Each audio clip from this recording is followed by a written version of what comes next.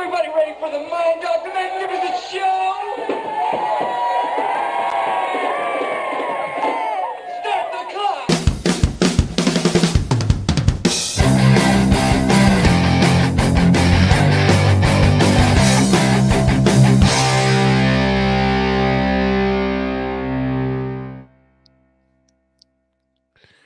It's me again.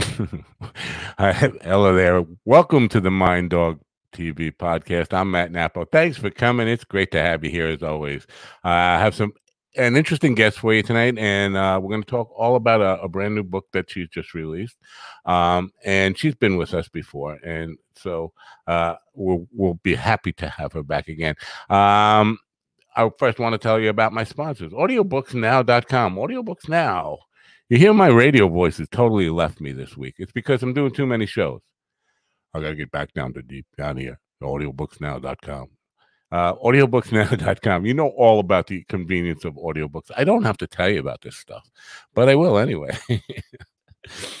Let's face it, folks. Uh, even with COVID and uh, the big shutdown and everything, people still, oh man, I'm not loving my voice. People still, uh, find it hard to find the time to read a book and uh it's just you know with all the distractions and all of, and with people in the house locked in with you if you have a family like i do uh, can be very distracting so audiobooksnow.com is just a convenience and they've been around for years audiobooks you know about that and there's so many places you can get them the difference uh, with audiobooksnow.com is price point price point, price point, price point. Less expensive than any other audiobook provider on the net. Uh, that's a guarantee. And it gets better because the 50%, uh, 50% off your first purchase offer is back. 50% off your first purchase uh, of an audiobook or a monthly uh, subscription plan. And even better than that, we have a special seven day free trial. So you can try it for seven days absolutely free absolutely free. You don't like it after seven days, just uh, cancel your su- subscription, your membership, and there's no charge whatsoever. You don't need a credit card to sign up. It's a great deal, um, and I think you're going to like it. Uh, and you know the idea of uh, audiobooks in a time like this. I had a guest on yesterday who just released an audiobook, and he's actually released the audiobook before the actual book um, that was because of a contractual obligation. But it seems to me a lot more people might um, consider doing that in times like these. Again, sometimes it can be difficult to actually uh, find the time to read a book, and everybody's got time to put something on their uh, portable device, their phone, or whatever. Take it with them, put in a bunch of earbuds, and wherever you're driving to, you're doing your chores, whatever. Listen to an audiobook. So. Uh, uh, it might be the, a trend for now we'll see. Uh, but audiobooksnow.com, the link will be in the description. And I thank you for patronizing uh, my sponsors. Tonight, Jennifer Anne Gordon is with us. Jennifer is a ballroom dancer, competitive ball, ballroom dancer. She actually teaches the craft. and she's also an author. She's one of these people who just has to have more than one profession, I guess. uh, me, I, I have a tough enough time having just one profession and doing it right. But she's very successful in both. And she's just written a new book called From Daylight to Madness. Please welcome in uh, Jennifer Gordon back to the pro- podcast. Jennifer, welcome back. Hi, hi, Matt. Thank you for having me. uh, it's my pleasure to have you. Uh, I consider you a friend, even though uh, we are very different. In in and it's good to have friends that are very different, but in in Yeah. our taste and and what we what we gravitate towards, and you you just love the darkness. I, I do love the darkness. Um, and what's funny is I, I love the darkness in my art, in my writing. And uh, sometimes people who know me just through being a ballroom dancer don't see how the two can really combine because as a ballroom dancer, I usually have a big smile on my face and I'm very bubbly with my students. And I love dances like the foxtrot. And so That's kind of, usually, and uh, is this? Uh, how would you kind of characterize this? Because I don't want to call it like a horror. It's more like dark fantasy, right? Is that is, is Um, that a better way? So, it, you know, it's it's a tricky genre to to kind of put your finger on. Uh, gothic horror is Right. is fine. or psychological suspense or you know, ghost fiction is sometimes it's called like ghost fiction but it's it's not vampires and werewolves. So Right, sometimes right, when i say gothic people think twilight and there's nothing wrong with twilight but that's not my book yeah, werewolves is what I think. And whenever I hear goth, I just think, and and I see you're wearing blue, and I'm wearing black. Generally, when I think of goth, I think of somebody wearing black all the time, and and just. and I usually covered do wear black all the time. But then I realized every podcast I do, whether I'm hosting or a guest, it looks like I'm wearing the same outfit because it's just black.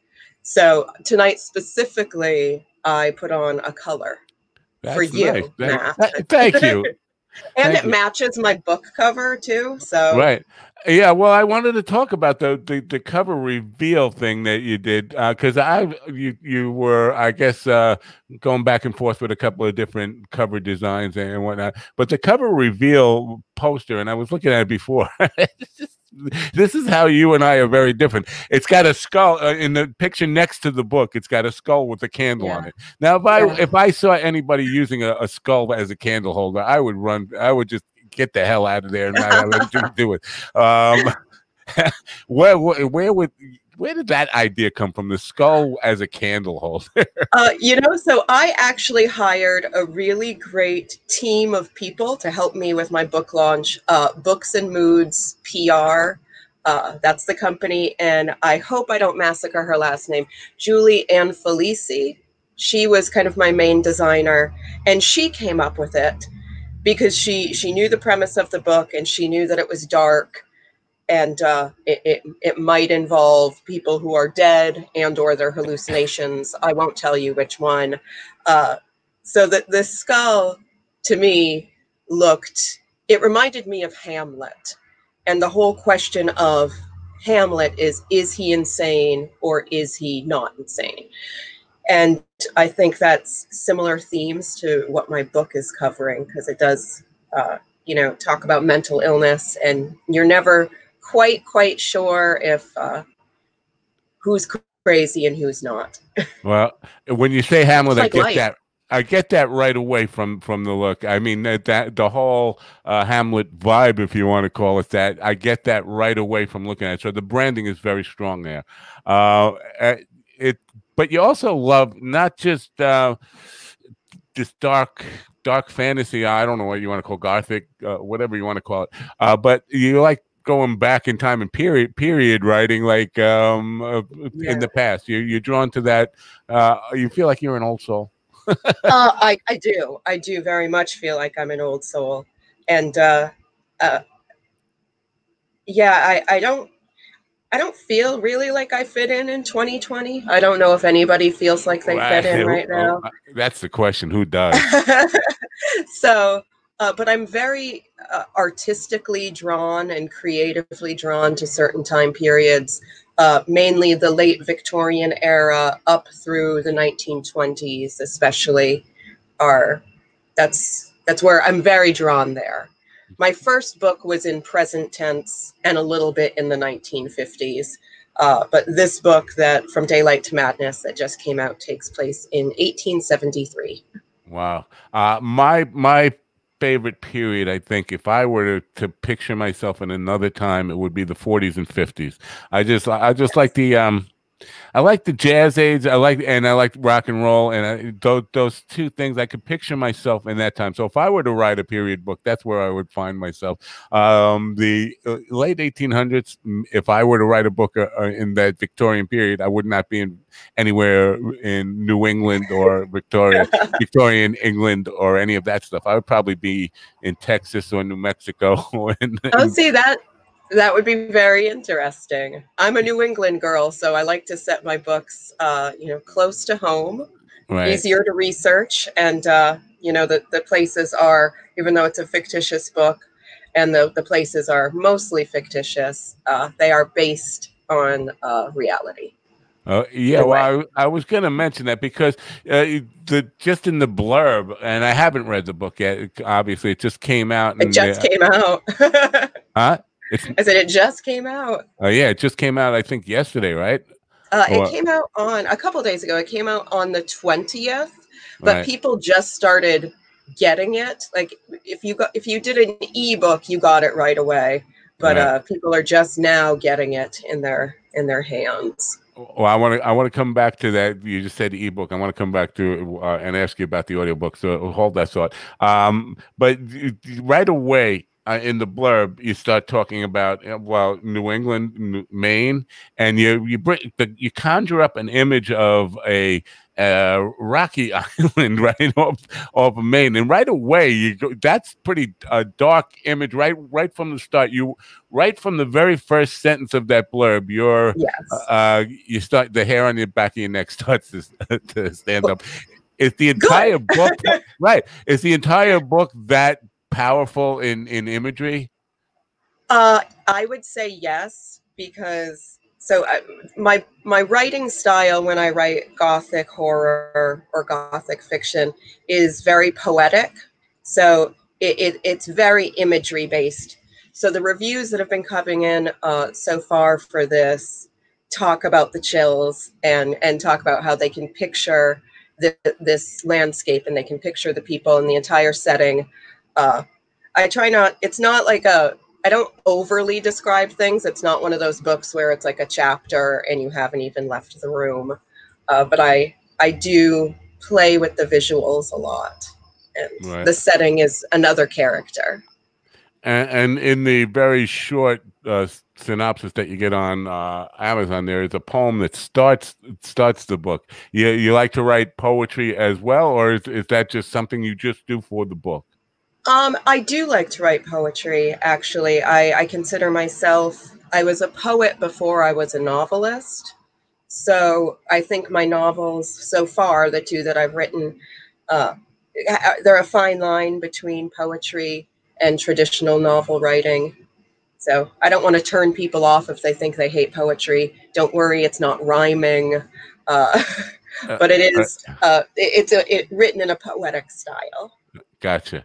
So I, I mentioned audiobooks because I have a sponsor that's an audiobook provider. Uh, is the is it out on audiobooks and are, are any of your books out on audio?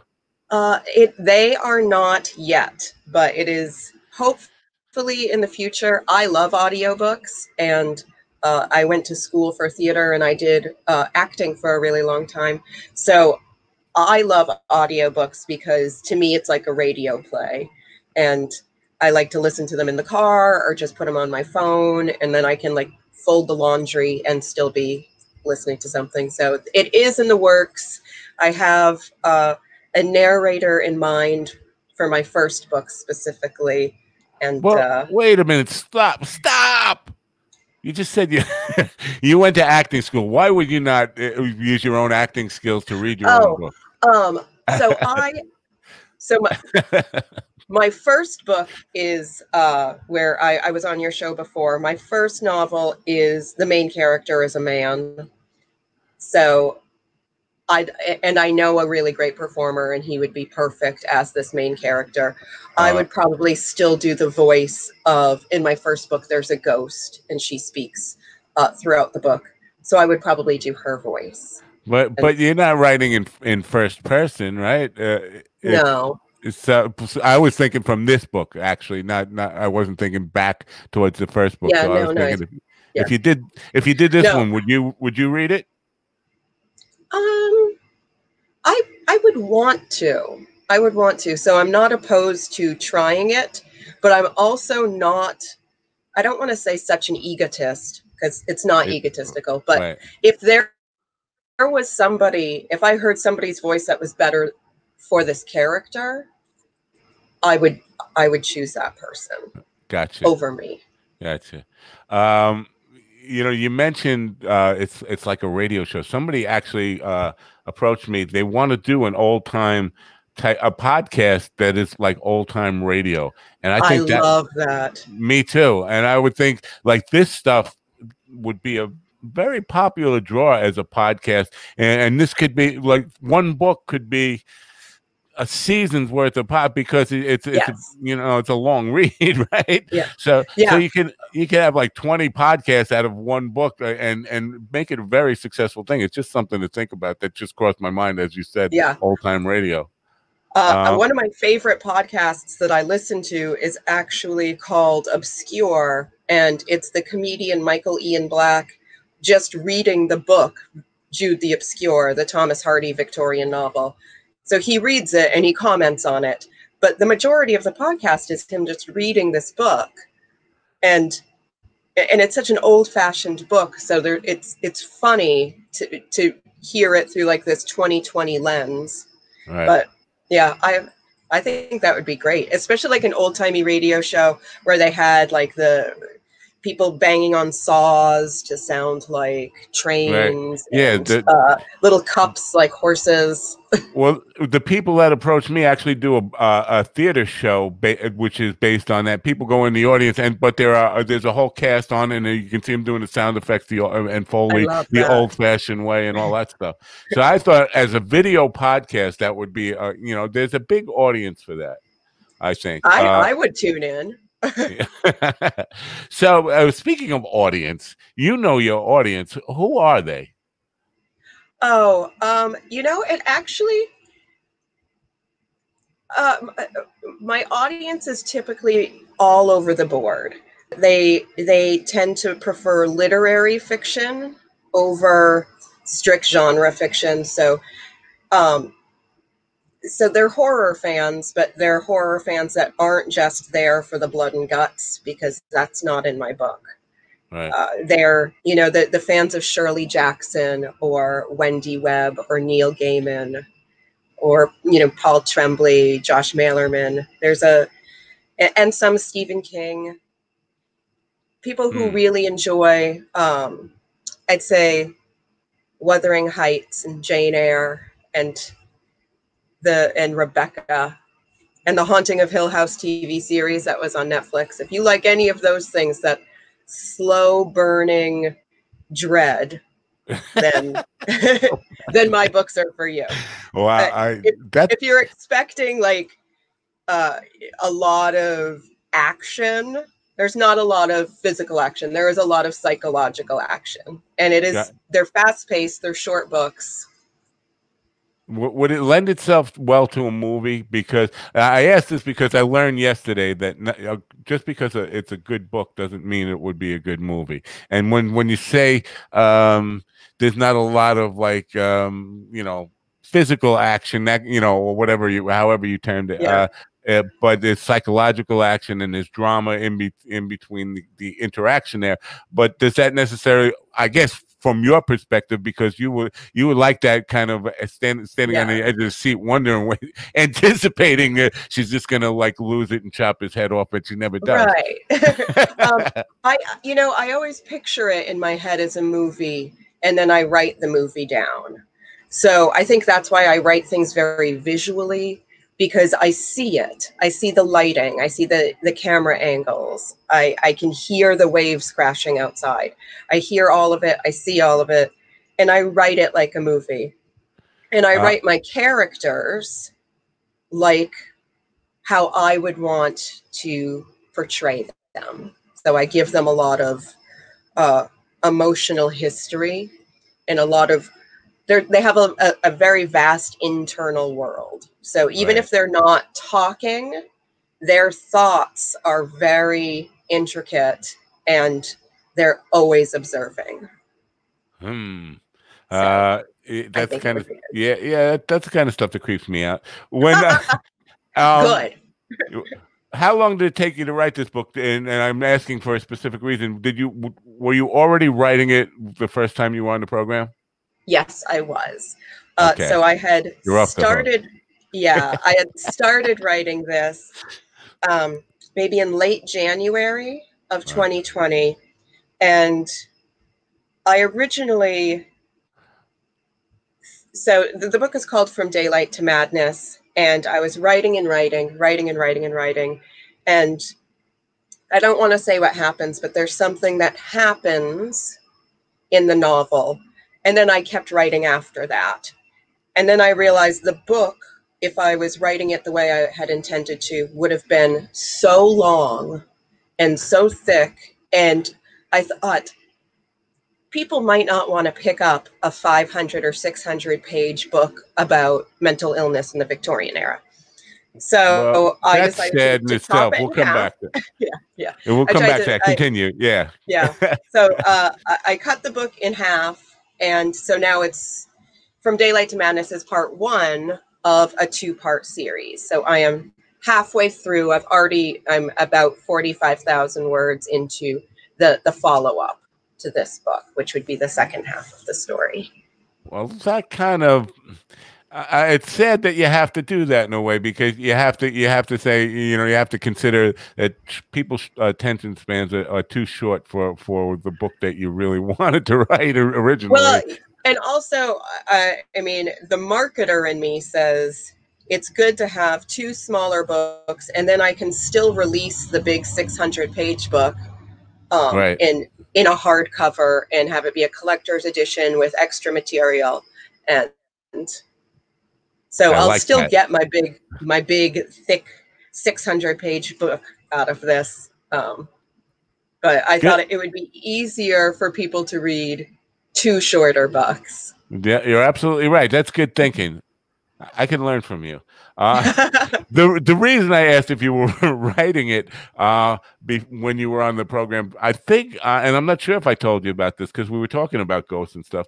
When I first got divorced from my, my first marriage, I was 30 years old, living in a house. There was a ghost, and w- uh, we gave her the name Isabel because oh, Isabel was the, the previous owner of the house and she died in the house but then creepy stuff would happen i, I don't know why i say there was a ghost but doors would open by themselves and, and, you know you'd hear people walking in the house and there would be nobody there all that kind of stuff and it was very creepy but it, I, I i thought i might have mentioned that her name was isabel so i was going to say i i, I want my I want. No. I want to cut on i want to cut it in the book now uh, So what's funny is the idea for um, from daylight to madness. I started the research for this book um, probably about four years ago, and I very much intended from daylight to madness to be my first novel, but I didn't. I guess I didn't grasp how much I would have to research about the Victorian era to to write about it. yeah, yeah. I thought, well, I've seen I've seen a lot of movies and I know things. And, Yeah, and then I realized I didn't really understand who was living in Portland, Maine in the 1870s, Right. what their nationalities were. I didn't know who typically uh, the the book takes place at a I'll use this term loosely hotel and I didn't know who would be working at a hotel, like the the underlings, the people that work in the the kitchen, the people who carry the bags, the people who do the cleaning, because it's post Civil War, uh, but it's also Maine.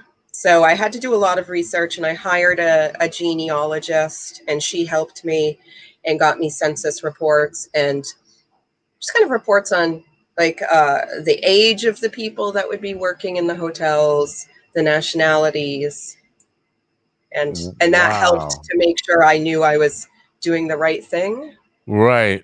Wow, that's really really interesting. I don't think the uh, I don't think the audience would know if you were wrong. That's that's uh, but Some of them will. You every once in a while you'll get that one person who reads it and goes, uh, yeah. Adirondack chairs didn't exist. You wouldn't have a guy 1873." named Juan in Maine. Yeah. Why Yeah, would so- Juan be in Maine? So I wanted to make sure uh, I was getting it right. And the funny thing is, is when you look at the old census reports, all of the names are so similar. Like the women's names, because they're it, it was Maine, it was very French, and it was very Irish. So they're all Margaret, Margery, Megan, Moira, Molly, and I'm like, I can't have all my characters have the same name. At one point, I think all of their names rhymed, and then I had to go back and change it because uh, it was all it was too similar. Even I was confused. So that's that's really fascinating that you really get down to the granular level and learn about the people of that time in that era in that specific place. Because when you mentioned Vic- Victorian era, as as I kind of alluded to earlier, the Victorian era is a time, but Yeah. there it's it was different in New England than certainly than it was in England or Right. cer- certainly the Western United States or wherever. So that time period, it, it's not just the time period; it's the place and the specifics of the area, and getting to know the those people and and God, how many people really know the world of Maine in 1873 or when it when I know. I, I didn't know it. And so there is a it's a based on a hotel and the hotel in my book is quite possibly a mental institution. The hotel I have it that I based it on like in my brain was not a mental institution. Uh, it was based on uh, an old Victorian era hotel called the Appledore Hotel which is on an island, was on an island off the coast of New Hampshire and Maine uh, called Appledore Island. That hotel burned down. And then on another island, there's an, a different Victorian era hotel. So the hotel in my book is based on those two places, like visually uh, in the landscape of it, how the hotels are set up. But my my staff of the hotel in my book is based on the census reports for the Appledore Hotel. Uh, we got the little scroll going on right now for people on the visual side, uh, where you'll see the scroll uh, having the URL to the Amazon page where you can buy the book. It, of course, the links will be in the description. I just wanted, I put it there so you can recognize it when you see it. That's why. Yeah, because people have uh, to see things three times before they right. pay attention. Uh, well, it's just so interesting to that you you got a real education in in a whole uh, history of a, a world that most people just are not in touch with. I mean, I, I don't even I can't even guess what the population of Maine might have been in in the late 1800s, but um, it's just it's it's hard to imagine what it what it would really be like. So I guess you you had to do your homework for it. What did you learn about the people and um, you know the, the culture of Maine in in the late 1800s that you know aside from what you were put in the book just the general culture of the times and the period there anything um I would say it was the beginning of like a melting pot situation but for for most of the country honestly for about 10 years after the civil war it was like the entire country had post traumatic stress and Maine is a small population wise state. Uh, so I I kind of focused on who came back after the Civil War and what happened to them. Even though that has nothing to do with my book, I I, I looked up who was in like where where people went. Some people went back to their houses and led normal lives. But some people ended up in poor houses and in almshouses. And they ended up there alongside children who had no parents anymore because of A, the war, B, there was a Spanish influenza outbreak that was also right around that time. Uh, so there was a whole uh, population of our, our country that was decimated. And so I, I kind of focused on that and the scars of how that would make the world feel. And I feel like in a way we're going through that in a in a way with COVID because in you know we don't know where we're going to stand in a year from now, but we're as a society collectively going through this trauma together. Right. And I think that's what the Civil War was. That's what any pandemic is. As a society, we go through something together that's terrible as you were saying that, I was imagining uh, a lady 150 years from now write, writing a book about this time and yeah. describing it exactly the way you just described that. I know, uh, like it, just the, the emotion, the fact that like as a society we're all having the same. A lot of us are having the same emotions. We're all we're all scared. We're all confused. We're mm-hmm. you know, we're not. And, our life has drastically changed from eight months ago. Uh, yeah, it's a very complicated thing. I think you're right. We're all scared. We're all confused. Confusion brings out the worst in people sometimes because uh, they, they just panic and and they uh, tend to be irras- irrational in how they react with each other and how we react with each other.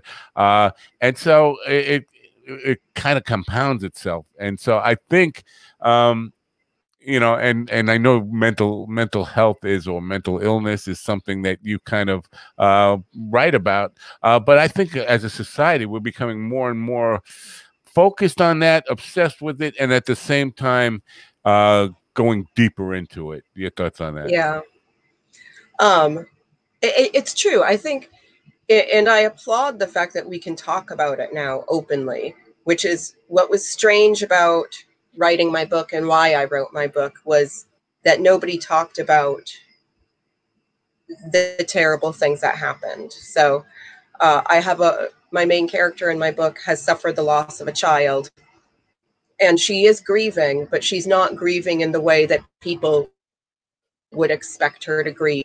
So they assume she must be crazy, and maybe she is. Maybe she is crazy, but that's you have to read the book to find out. Uh, she might have been crazy before.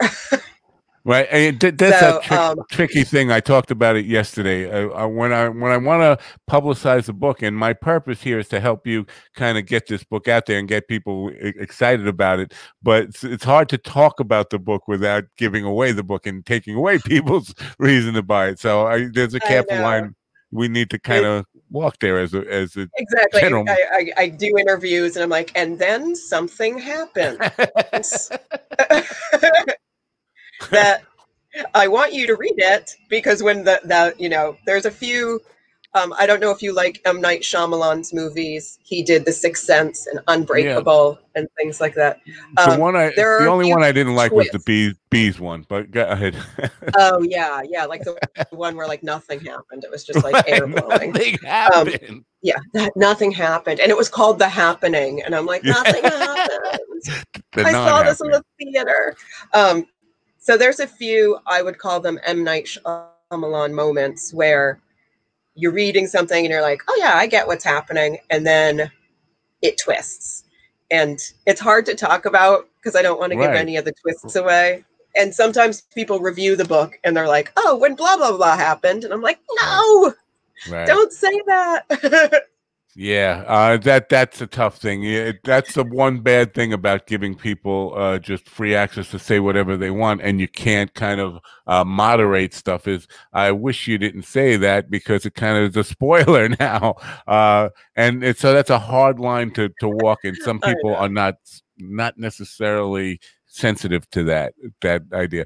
But on that note, Right. people don't want you to to give away too much because uh, the joy is in the reading of the book. The joy is in the experience of it and, and doing it for yourself. And so you don't want somebody to just give you know hand it to you in an hour conversation. And now uh, by the time you read it it's just like going through the motions of it. You don't want that. As a, a reader you want it you want it to be kept secret. You just want what you just said was the perfect uh, thing to get me excited to buy the book and and the, the night Shyamalan moments that, that are in there uh yeah, you know that's that's what it's all about and you know it's just about giving people a reason to buy the book not telling them what it's Yeah. what the book said what it exactly right So I will say this: last night uh, at around 5 p.m., I got a text from somebody I know, and she said, "Your book just arrived. I guess I'm going to stay up late." And I was like, "Oh, thank you," and that was very sweet.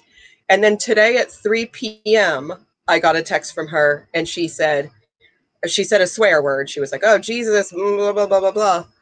I just finished it, and you know, and and she told me how much she loved it and how uh, what it meant to her. But the fact that I knew, because I saw the text timeline, that she did in fact stay up all night reading it, and oh my god and I know her; she's not a stay up all night person. so, So, I felt really, it, it was a great compliment to hear right that. uh how know. many hours did it take you to read because I, I i read a lot now because i have to read when you know interviewing authors and stuff i try to read every every book that i can uh how long did it take you to how many hours it was is this read Um, yeah, it's really it's probably only about um, a four or five hour read, but so I'm sure she took breaks. Yeah, if you if you sat down, you could read it in four or five hours.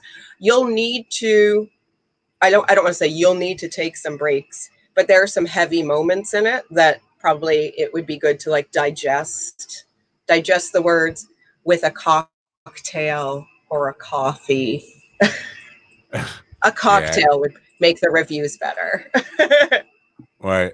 Uh, well, it, that, I was surprised because the audiobook I just read. Now, I I told him well, I had him on yesterday. I told him it took me 11 and a half hours. He said it's only six and a half hour read, and he does read it fast. But I could have sworn it was 11 and a half. And I listened with the headphones on. I wasn't in the car or anything. So by Right. the time, by the and it had two podcasts in between there.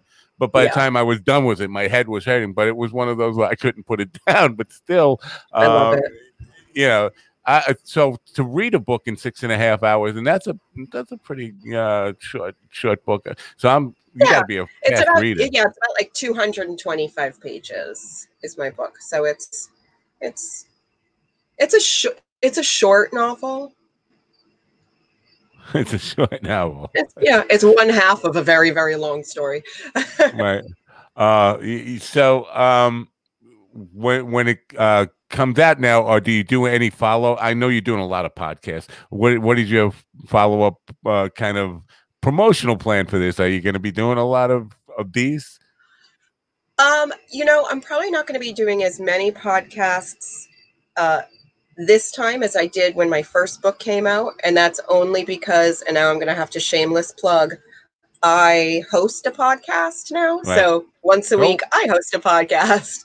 Uh, and so is that do you have the podcast linked from from your main site or do Um, you have to go somewhere else to find it? Um, it's called Vox Vomitus, which really just does mean word vomit. And I host it with two of my really good book best friends, uh, two fellow authors, Allison Martine and Trisha Ridinger McGee. And we talk every week to best-selling authors uh, who, you know, who are at the top of their game, and we talk to them about all of the mistakes they've made, like the the word vomit of it, the bad the bad books that you just like wrote and go, oh gosh, nobody can see this. The weird character choices that you made that that that went wrong. The bad first drafts. The the fan fiction you wrote when you were a kid. So we talk to authors about that. That sounds like uh, that sounds like an interesting uh, podcast. What time uh, does it drop, or when do you do it? It is Wednesdays at 6 p.m. Eastern Time, and it is on. You can go to Vox Vomitus podcast on Facebook. We are also on StreamYard, so we live stream to Facebook, YouTube, and then we are part of the Global Authors on the Air Network. So we are on their site, and then the next day, you know, where where all podcasts are. So I just tried that out. it's I a video podcast like yours. And yeah, and you're using StreamYard. I just tried that out because they just told me about this new thing. Did, do you know about this? You can do. Oh, look at that! oh, I don't know why you'd want to do that. it is kind of crazy, but I guess. I, I guess I guess it's meant for if you have like several guests on and you want to arrange it or whatever. But uh, they, I know I know they just told me about it uh, last night. I just uh, when you when you mentioned you're on StreamYard, I said, oh yeah, I got to try that yeah, look, I, I can do, we can do this. That might come in handy because sometimes we have um, like four or five of us, and we look like the Brady Bunch. Right. Like we're all like squared up.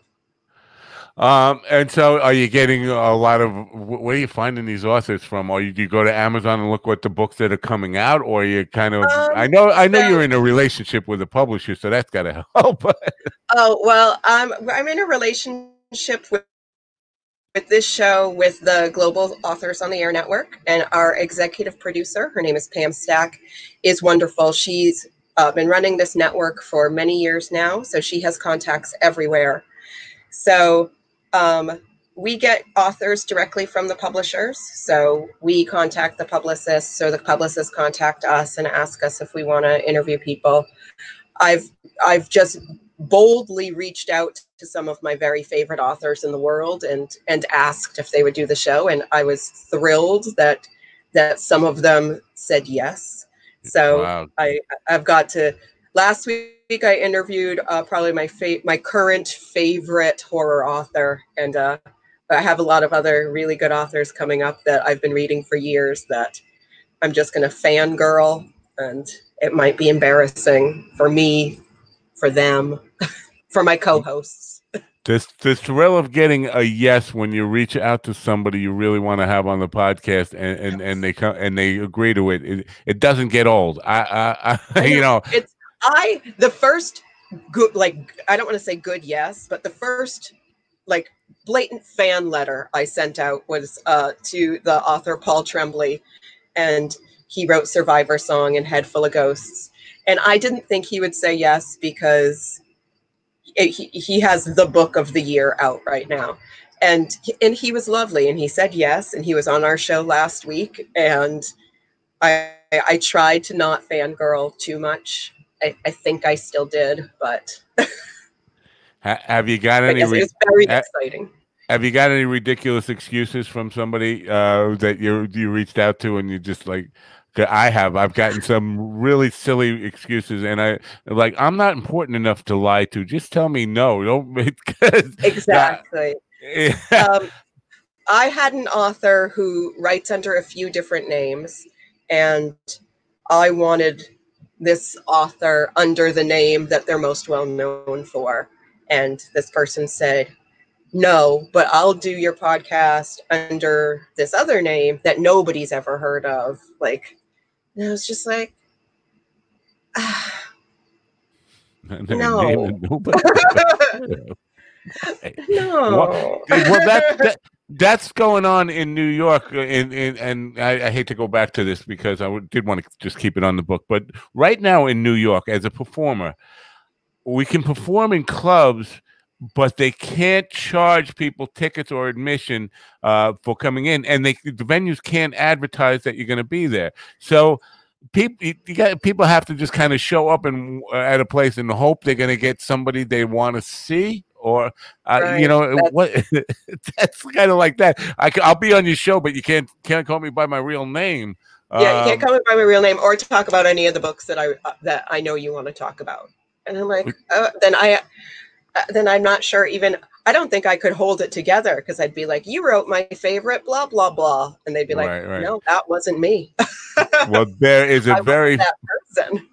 There's a very uh, notable uh, instance of that. Billy Bob Thornton was playing in a. Uh, he, ha- he has a band, but he's an a, a very famous actor, Sling Blade. You know Billy Billy Yep. Bob, and um, he was uh, doing interviews for his band, and he said he did not want any mention that he's an actor or his other career on it. And the radio, the, the guy who was interviewing him slipped up and said something about uh, him being an actor, and he just he lost it. He got so angry and walked. he Oh, ended up no. walking out, but he just made a fool of the guy, and he just had this chip on his shoulder, like, "How dare you talk about that?" And like, what's the purpose? Why are you hiding from who you really are? I don't. I get that. know. You know, I I logically can understand it, but I guess I hope someday to be that famous that I have to have uh, another name to to hide behind. Sometimes that would be fun.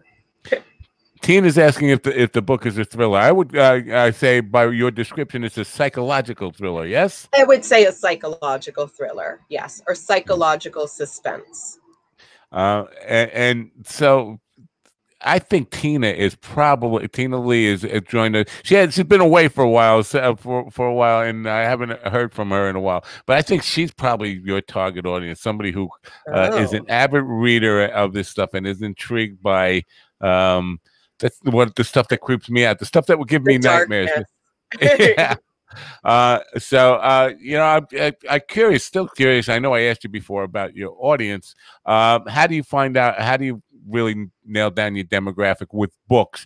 It's easier with the internet. It's easier with a podcast to know exactly who's listening to you. You're just going by testimonials and stuff, or the letters you get. Um, uh, I, I do get a lot of, uh, I don't want to say fan mail because that sounds silly. I get a lot of comments. I get, you know, pretty good reviews. The great thing with Amazon is you can track where the book is being sold and when it's being sold. So, like for instance, if I took out an ad, I could see right Oh. away, at least on Amazon, if I get a direct bump and and where those people live and kind of roughly what age they are. Uh, but other than that, um, it's it's really about finding books that are like yours or that y- you think are comparable and and finding their audience and trying to tap into it. So you can do that through advertising, like through Facebook or Book Right. Club, things like that. But and then and then just hoping, hope against hope that the right people find your book well, because with gonna. all bookstores like kind of closed down right now where we don't have that luxury of just like spending all day in a bookstore, picking up every book, flipping through it, putting it back down. Uh, I was just going to ask you about that, and I was going to say I'm going to show my ignorance here. Are, are there still bookstores? I mean, are there really f- physical bookstores? I, I don't see yeah. them anymore. Uh, I know Barnes yeah, and Noble, no, uh, where I used to go, closed down. so there's obviously there's Barnes and Noble. I live in New Hampshire, uh, which is a little state in New England, and we are very indie friendly. So the city I live in, which is Concord, New Hampshire, has a really, really big, thriving independent bookstore called Gibson's. And they're basically the size of a Barnes and Noble, but they are an independent bookstore. Uh, so they are still open. It is limited because of COVID right now, but pre COVID, they were the place to be. Had, they had a great little wine and coffee bar. And uh, bowling alleys are open, but but bookstores have to, have to be careful. Uh, okay. Uh, whatever. Yeah, it is I, really crazy. I, um, I've got nothing. So, how about getting uh, getting the books into public libraries? Uh, it, it, is it up to the library to kind of order your book through Amazon to get that, or how does that work?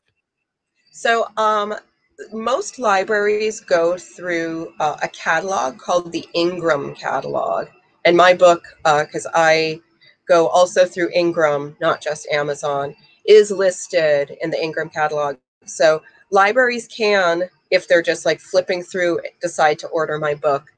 What helps is if people call their local library or email and say, I'd love to have this book in the library. I'd love to check it out. Uh, there's a better chance then for a library to to take notice right. and order your book. There's, and uh, I've had a lot of people that I know that have bought my first book and loved it, they went ahead and ordered another copy and donated it to their local libraries. So wow, that, wow, that that's very first, cool of them. Yeah, so that got my first book into into some libraries that it wouldn't have been, and then COVID hit, so I don't. It's probably just still sitting there on the shelf, dusty, but yeah. but it is it is in libraries, and it, it was again because of fans and readers who believed in that book enough and hopefully they'll believe in this book too where they they bought an extra copy and and brought it to their local library. And that that means the world to me when things like that happen yeah, you must be very proud. I mean that that to me is like the ultimate compliment that some not that they some just went out and bought your book and read it and, and and gave you a great review and all that, but then went and bought another copy just to make sure it's in the library so other people yeah. could be exposed to it. Exactly. That, like a copy just to give away was right. just to me uh, huge. Right. I, I, would treasure that as probably one of, uh, you know, probably one of my best compliments for the rest of my life. I would carry it that is. kind of thing. I know. Like yeah. just, just talking about it now, like I have chills all over. Like it's, yeah. that's, it, it means so, so much. And I have friends who work in the library system and libraries don't have a huge budget. So if, you know, every donated book is really appreciated especially if it's donated uh, on behalf of an indie author who is, you know, we're not on the New York Times bestseller list yet. But. Yeah. Um, could you ever picture yourself writing a, a book that, or writing but not even necessarily a book, a short story, a poem, whatever, about anything that that, that is not um, creepy? Yes. Yes. So um, uh, I'm halfway through a book now that is what you would consider creepy. And then uh, after that, I have two projects that I'm working on. One you'd probably still think is creepy, but I consider it a romantic comedy. It just takes place during a, a plague. So, but uh, that's that's still creepy. Uh, I am also no, it's it's more funny, but and uh, I am writing I, I hate to call it a memoir, but a, an essay collection called and five six seven eight, which is a dance term where people go and five six seven eight, and right. it's eight essays about um, life lessons I've learned through teaching ballroom dance, like well, things my students have taught me. So that is a very uplifting. Uh, and it's a perfect segue into what I, I want to ask you about the rest of your life, the, the that part of your life. Are you back doing that? Uh, you know, so with COVID, and having to maintain six feet away from people, it's not a really great time to partner dance. That being said, um, the studio that I've worked at for the past six years, we've been running a few private lessons to our long term clients. They're no contact lessons, so they're people who are already couples, they only dance with each other. Everybody's wearing masks and nobody touches anybody. So we've been doing a little bit of that. Uh, but sadly, my dance studio that I've worked at for six years is closing at the end of September uh, because of COVID. so it's Well- the and the studio's been around for a long time, so it's a little bit. It's it's definitely That's sad. really that, that's really sad. Uh, one of my sponsors maybe could help them out if they want to stay in business. They're not the sponsor of this program of this particular ep- episode, but uh, um, well, my daily my my daily uh, sponsor is Fundwise Capital, and maybe you know if they if it's just a cash flow thing, uh, maybe maybe they could get help. Uh, Zero percent loans for nine to fifteen months and and stuff like that, and they're helping a lot of small businesses out. If if you want, I'll send you uh, the information after after the podcast. Send me the info. Um, the thing that's hurting us more than anything, more than the finances, is really that the the like how we teach ballroom dancing is a combination of you know teaching people how to dance group classes where people all dance with other people and we switch partners and we do parties so dance parties where there's Right. lots of people dancing with lots of other people in close contact and for the foreseeable future that's not an option That sucks, man. It sucks It what's happening to the world. Yeah. Uh, So and we keep but saying your we're state, not done your state hasn't been hit that hard, has it? No. It hasn't. We've been very lucky. It is a small state. Uh, we had pretty strict stay at home orders through June 15th. So ours stayed, you know, we were inside for quite some time. Wow. And the numbers are still low. Uh, it'll it'll be interesting when back to school happens and all the college kids come and You don't have a crystal political ball. rallies. Yeah, you don't have a crystal ball, neither do I. But what's your feeling on on on? Because I hear so many people say, "I can't wait till this is over," and I I want to say it's not going to be over. It, it- forget about the world we lived in. It's kind of gone, uh, and I don't. I don't think it's coming back. I certainly nobody's ever going to flip a switch and say, "Okay, back to normal." Uh, Right. That Yeah, I- normal. Yeah, go ahead. it'll it'll be it'll be a new normal but it, it won't be i don't think it'll be what it was last year. You know eventually yes we'll be traveling again and we'll be doing things but i think you know until there's a vaccine and until there's really really good free testing for everybody it's going to be tricky to have a trust issue like to to be able to trust going to an airport and touching a kiosk and going on a plane. Right. Well, and just you know, I we talk about mental health. A good part of mental health is is is human contact. And Yeah. and you talk about people can't dance. You know, uh, they can't hug. You you you meet some. You see somebody you haven't seen in a while. You don't know what to do. You kind of both stand there like Yeah. this. Um, and you know, you talk about a vaccine for this, but it's not. It's not just COVID, right? Three months from now, four months from now, it's going to be flu season, and Yeah. people are going to be panicking. Well, I don't know if I got COVID or I got the flu, and uh, and how do I treat the flu now? Is it is it going to be? Do I have to panic every time we get some contagious disease now? And the Yeah. whole psychological part of it, it is just it, it's a terrible thing that we're all going through, and it's hard to adjust. And that's why we're seeing a surge in mental illness and all this kind of because it's it's Mhm. fe- a fearful time. It's a, a confusing time. Uh, so I don't people really, they don't have their outlets, you know. Uh, You know, a lot of people, you know, they they lean on their community, they lean in their dance community, or they're whether they're playing sports or they're working out, or even just like going to a bar and and seeing you know your friends once or twice a week and we don't have that right now it's different we have zoom and StreamYard and the internet. And that's great. And I can't imagine how people would be feeling right now if we didn't have this. Oh, there would have been there a, was- a total, uh, total rebellion against it. Uh, uh, you know, Yeah. people would people would have been willing to die to just to, to- Yeah. Just to, stuff. just for contact. It's Yeah. true. It's true. Yeah, so if- you're right. Zoom has been a, a very good thing to have during this, but it's not the same. It's not the same as giving your friend a hug. It's not. You can't shake hands with some people. I mean, it, it's it's so I weird. know. And again, As like, sorry. yeah, go. y- y- pa- mental health. That's all part of it. Human kind.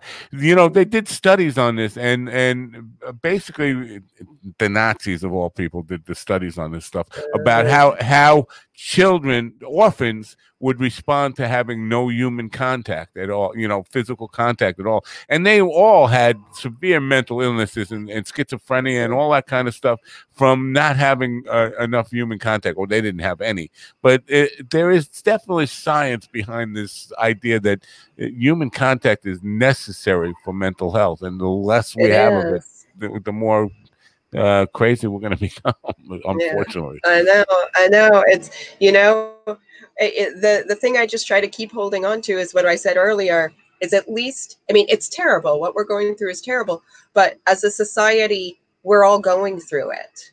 right So if there, it's the one t- thing in the entire world right now that we can all agree on is that COVID sucks living in a pandemic you know it doesn't matter what your politics are what your religion is if you like scary books or if you hate scary books we can all like no matter what country you're in we've we've all experienced part of this together and the you know the the ramifications will we'll deal with it together as a society hopefully Right, uh, and uh, just to kind of go back, uh, you you you did the research on the healing from the Civil War and the Spanish flu and all that stuff. How that that how long, in your estimation, from what you learned, did it take to kind of recover from that trauma as a nation? as a nation um gosh you know where my book is taking place is like a good you know almost 10 years after and it was they were still scarred. The people were still Right. scarred. I think that's a good question. I don't know. I don't know if and this is going to come across really bleak and terrible but if the world united for good or for bad during World War One and World War Two. And I don't know if we just as a society need something that we all have to band together on, if it's something positive. So let's just say five years from now, something really amazing happens with climate change and there's a breakthrough.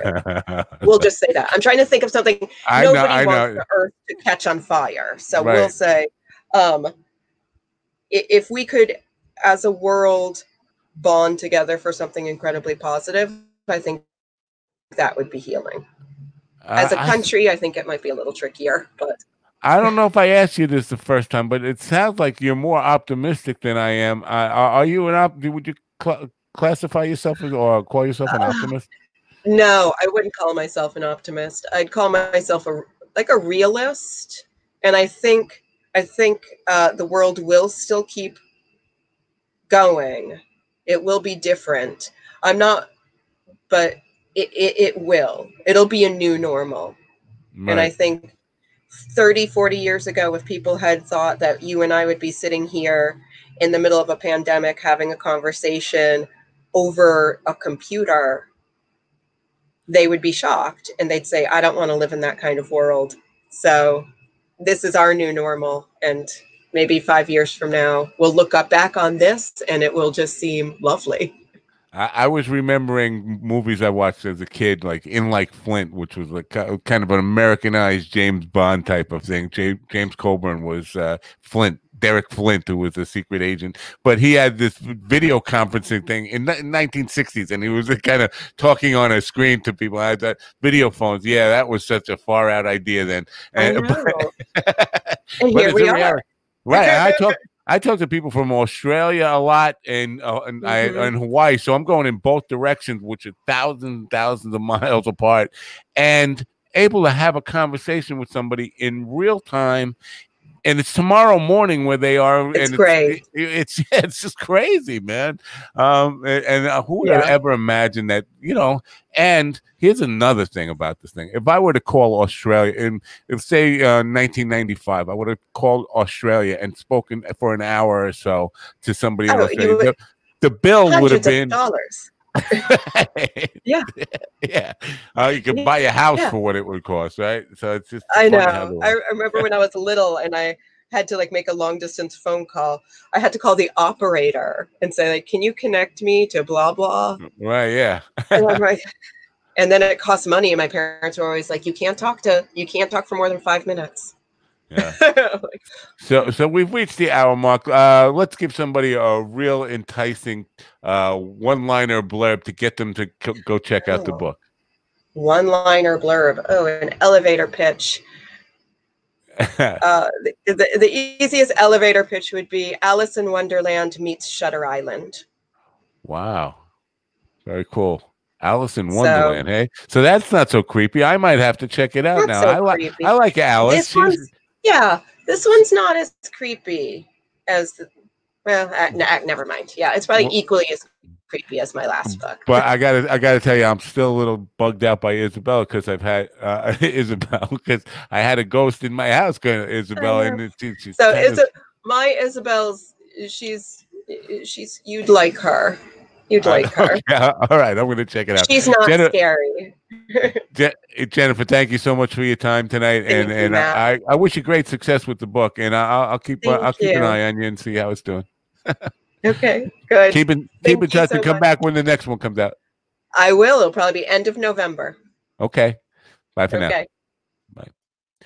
Jennifer Anne Gordon, folks. I hope you enjoyed that. I hope you check out her book. Um, you know, all, all kidding aside, uh, you know, I do say, uh, you know, psychological thrillers are not necessarily my genre, but I'm going to check it out, and not just because she was on the show, because she hit me with some uh my interest points there. Those, those kind of the night, the night uh kind of moments in there. Those those um wow, the, the whole world is not what I expected it. What, what's going on here is not what I was led to believe. I- love those kind of stories. So I'm going to check it out for that. And she said there's several of those uh, moments in there. So that I'm looking forward to actually checking this book out. I hope you do too. Hope you enjoy this program. Hope you tell your friends about it and come on back. Uh, go go to my YouTube channel and subscribe there. Go to minddogtv.com. Get on my mailing list so you can find out when great guests are going to be on. And questions or comments, info at minddogtv.com. Info at minddogtv.com. Let me uh, just pull up tomorrow and tell you what I got happening tomorrow. Uh, I actually have only one show tomorrow. Oh no, it's only it's only Tuesday, folks. I have two shows tomorrow uh, at 1 p.m. I have Jack Foreman, who's the president of Bicoastal Productions, and he handles a lot of uh, big name music acts. And we're going to talk about the changes to the music industry, which you know is my uh, kind of my thing, the music industry. I love that that stuff. It's my life. Uh, so I'm very interested in that. 1 p.m. Eastern. Join join me for that. Until then, I'm Matt Nappo for the Mind Dog TV podcast. Thanks for coming. Have a great night. Bye for now.